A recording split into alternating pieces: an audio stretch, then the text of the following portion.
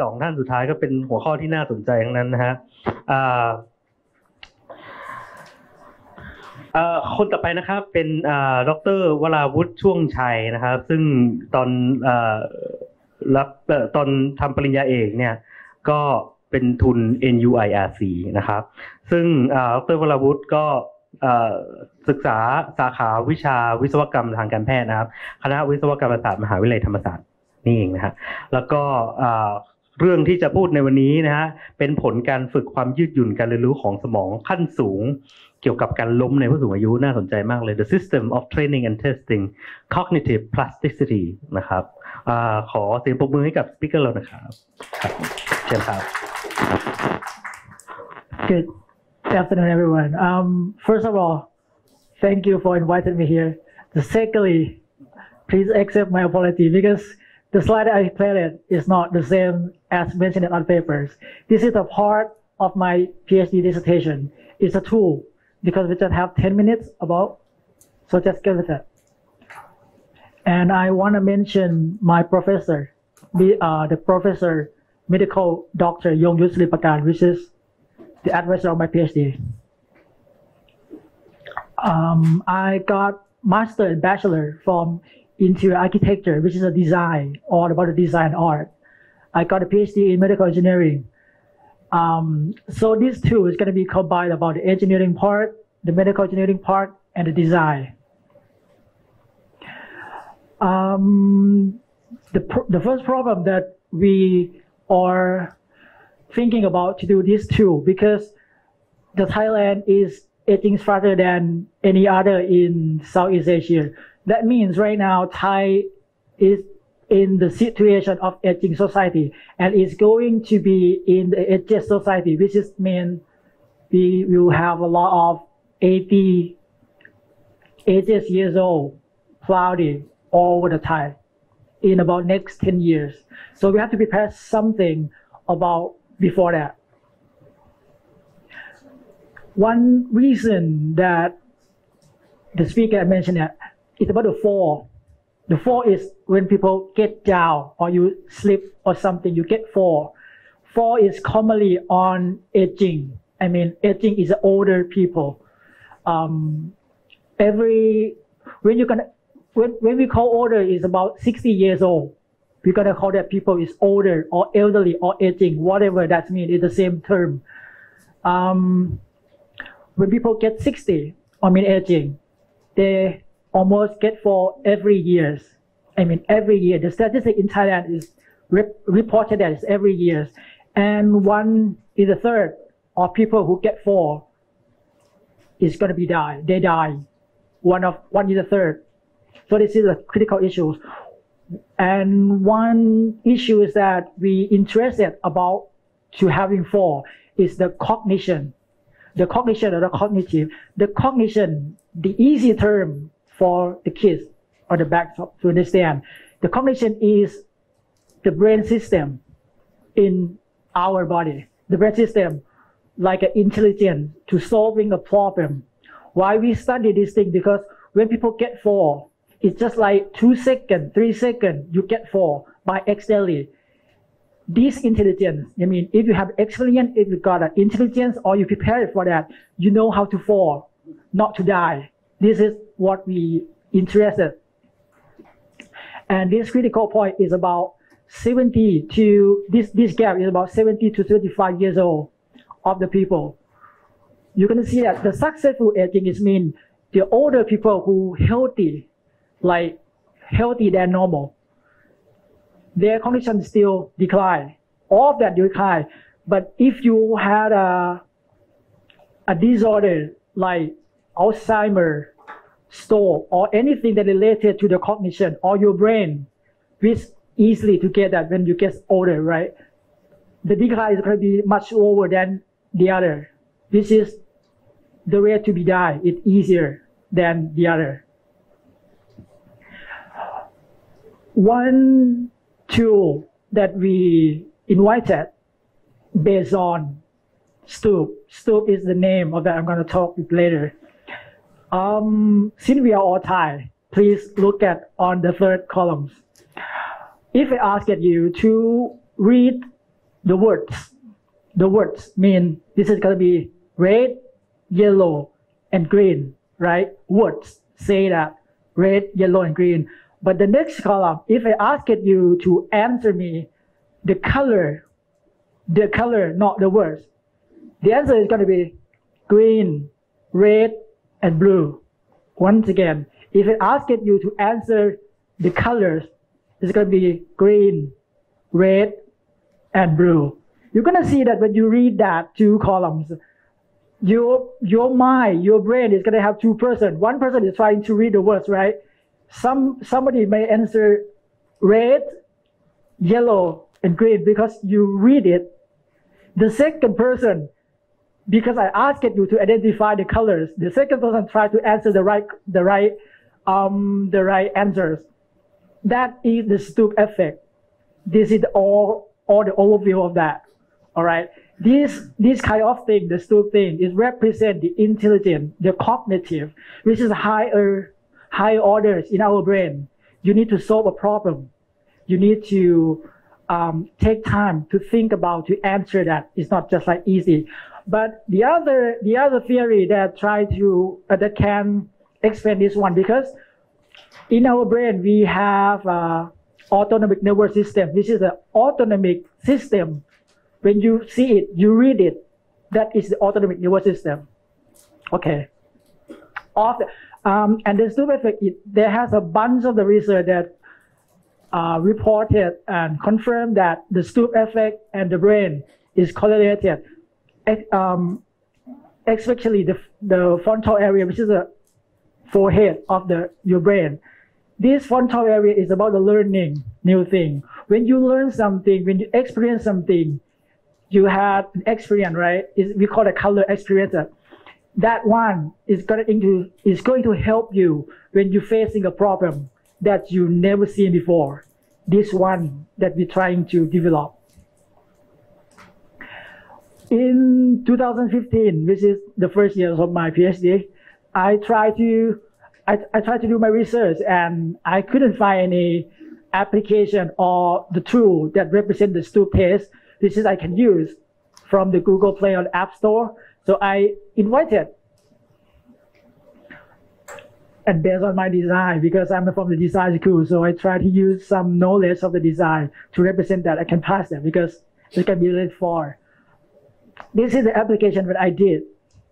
Of that. Um, before before we use this one, we validated. It means try try to confirm this application is going to be work by the context which is from the two professors. The first one is from the bioengineering. The second one is from the um, environmental physiological department, which is all, all, all professor represented that is 1.0, which is, that's fine. That's good. You can use this for your, your, your thesis. All right. Um, actually, they got a lot more condition than that. We're gonna we're gonna spend time with that a bit. Um, in my in my application, we got eight levels. The first the first line or uh, the first line is about the color and words, just of color and word. The first one, the answer is yellow. Easy, right? Because you see a symbol I asked you to identify the color. It's just one, one answer is the yellow.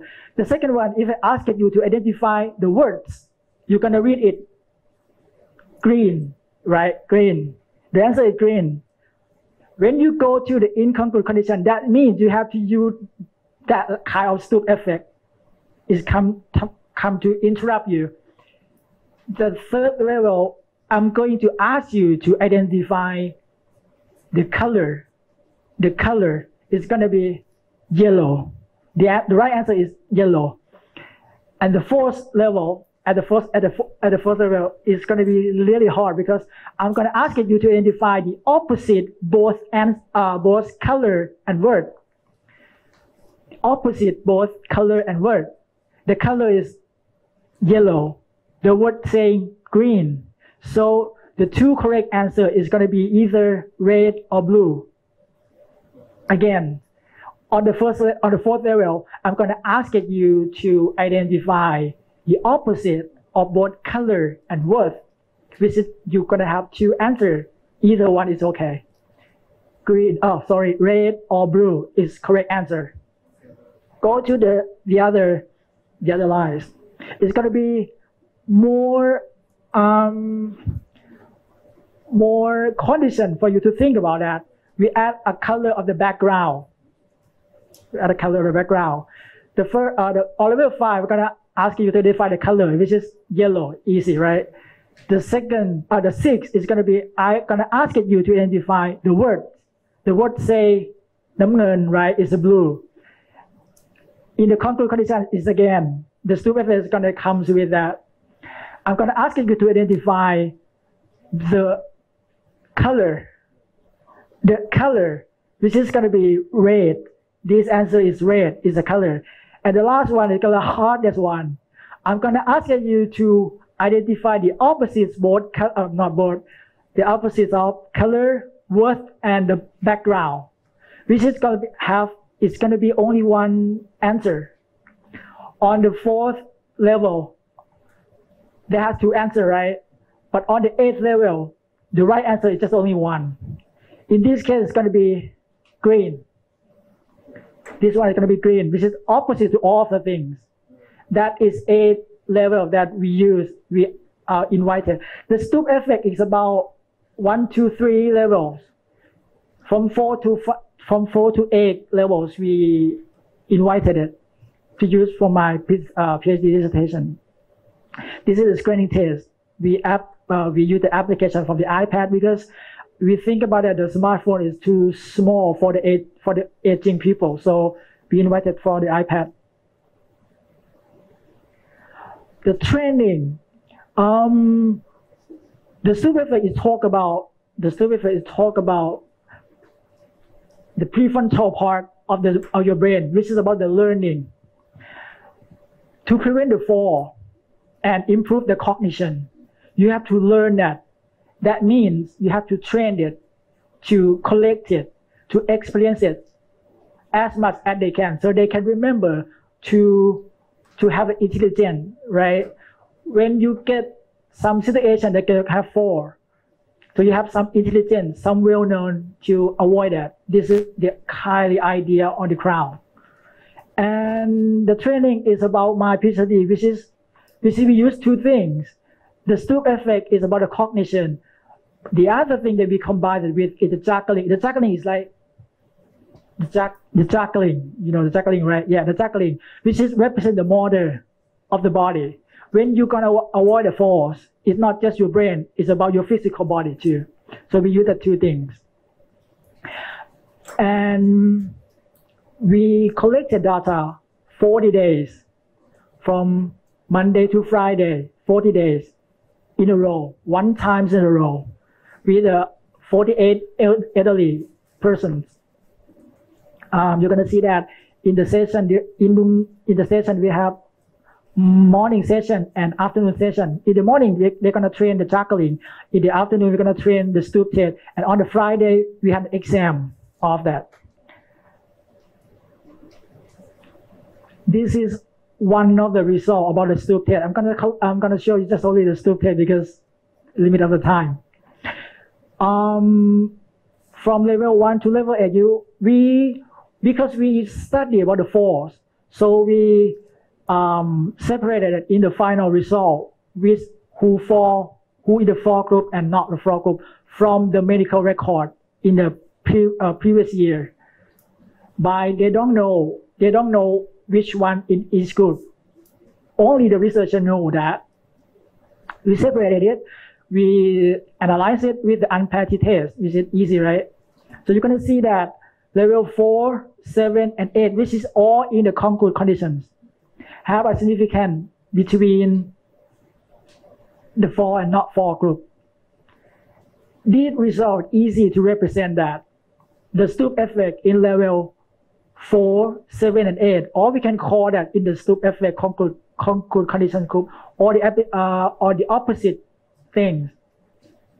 It represent, it can be like predict elderly from for not for from the futures.